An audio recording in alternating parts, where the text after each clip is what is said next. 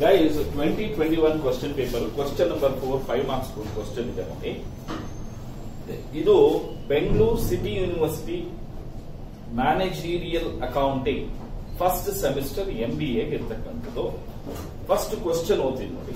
The ratio of variable cost to sales ಈ seventy percent The break-even point occurs at 60% of capacity of sales. Find the capacity of sales when fixed costs are 90,000 and also compute profit at 75% capacity of sales ಅಂತ ಹೇಳ್ತಾ ಇದ್ದಾರೆ. ಓಕೆನಾ ಈಗ ಈ question ಒಂದ್ ಸ್ವಲ್ಪ different ಆಗಿದೆ. ಅವನು ಏನ್ ಹೇಳಿದಾನೆ ಅಂದ್ರೆ first ratio of variable cost sales ಅಂದ್ರೆ ಸೇಲ್ಸ್ ಹಂಡ್ರೆಡ್ ರುಪೀಸ್ ಇದ್ದಾಗ ಸೆವೆಂಟಿ ರುಪೀಸ್ ಅಷ್ಟು ಏನಿರುತ್ತಂತೆ? ವೇರಿಯಬಲ್ ಕಾಸ್ಟ್ ಇರುತ್ತಂತೆ. ಹಾಗಾದ್ರೆ ತರ್ಟಿ ರುಪೀಸ್ ಏನಾಯ್ತು ಅಂದ್ರೆ ಕಾಂಟ್ರಿಬ್ಯೂಷನ್ ಆಯ್ತು. ಓಕೆನಾ ನೋಡಿ, ನಿಮಗೆ variable to variable cost sales ratio ಅಂದ್ರೂ ಒಂದೇ ಪಿ ವಿ ರೇಷಿಯೋ ಅಂದ್ರೂ ಒಂದೇ. ಪಿ ವಿ ರೇಷಿಯೋ ಫಾರ್ಮುಲಾ ಏನು? Sales minus variable cost divided by sales into hundred ಕರೆಕ್ಟಾ ಅಂದ್ರೆ ಸೇಲ್ಸ್ ನೂರು ರೂಪಾಯಿ ಇದ್ದಾಗ ವೇರಿಯಬಲ್ ಕಾಸ್ಟ್ ಎಪ್ಪತ್ತು ರೂಪಾಯಿ ಇದ್ದಾಗ ಸೇಲ್ಸ್ ಹಂಡ್ರೆಡ್ ಇಂಟು ಹಂಡ್ರೆಡ್ ಅಂದ್ರೆ ಎಷ್ಟು ಬರುತ್ತೆ? ಥರ್ಟಿ ಪರ್ಸೆಂಟ್ ಬರುತ್ತೆ. ಇದನ್ನೇ ಏನಂತ ಕರಿತೀವಿ? ಪಿ ವಿ ರೇಷಿಯೋ ಅಂತ ಹೇಳ್ತೀವಿ. ಏನಂತ ಹೇಳ್ತೀವಿ? ಪಿ ವಿ ರೇಷಿಯೋ ಈಗ ಅವನ್ ಕೇಳಿರೋ ಕ್ವಶನ್ಗೆ break even point is equals ಓಕೆನಾ fixed cost divided by P V ratio ನೋಡಿ ಫಿಕ್ಸ್ಡ್ ಕಾಸ್ಟ್ ಅವನೇ ಕೊಟ್ಟಿದ್ದಾನೆ.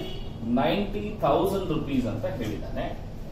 ಪಿ ವಿ ರೇಷಿಯೋ ಎಷ್ಟಂತ ಹೇಳಿದ್ದಾನೆ? ಥರ್ಟಿ ಪರ್ಸೆಂಟ್ ನೋಡಿ ತರ್ಟಿ ಪರ್ಸೆಂಟ್ ನಾನು ಜೀರೋ ಪಾಯಿಂಟ್ ತ್ರೀ ಜೀರೋ ಅಂತ ಹೇಳ್ತೀನಿ. ಎಷ್ಟಪ್ಪ ಬರುತ್ತೆ? ತ್ರೀ ಲ್ಯಾಕ್ ರುಪೀಸ್ ಬರುತ್ತೆ. ಎಷ್ಟು ಬರುತ್ತೆ? Three lakh three lakh rupees ಬರುತ್ತೆ. ನೋಡ್ಬೇಕಾದ್ರೆ ನೋಡಿ ಒಬ್ರು ಕ್ಯಾಲ್ಕುಲೇಟರ್ ತಗೊಂಡ್ ಮಾಡೋದೇ ಇಲ್ಲ. ನನ್ನ ಮಕ್ಕನೇ ನೋಡ್ತಾ ಇರ್ತೀರ? ಅವನ್ ಕೇಳಿರೋ ಫಸ್ಟ್ ಕ್ವಶನ್ಗೆ ಆನ್ಸರ್ ಮಾಡಿದ್ದೀವಿ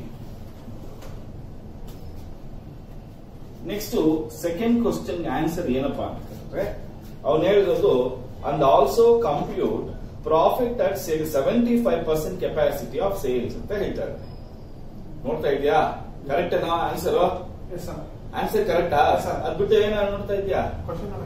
ನೋಡಿ ಈ break even point this is equals to sixty percent of sales two thousand twenty one two thousand twenty one question number four five marks ಎಲ್ಲ ಬರೀಬೇಕು ನಿಮ್ಗೆ ಏನೋ? ಈಗ ಅವನು ಹೇಳಿರೋ ಕ್ವಶನ್ ಅಲ್ಲಿ ಏನಂತ ಹೇಳ್ತಾ ಇದ್ದಾನೆ? ಏನ್ ಬ್ರೇಕ್ ಇವನ್ ಪಾಯಿಂಟ್ ಬರುತ್ತೆ ಅಲ್ವಾ ತ್ರೀ ಲ್ಯಾಕ್ಸ್ ಅದು ಎಷ್ಟಕ್ಕೆ ಈಕ್ವಲ್ ಆಗಿದೆ ಅಂತೆ?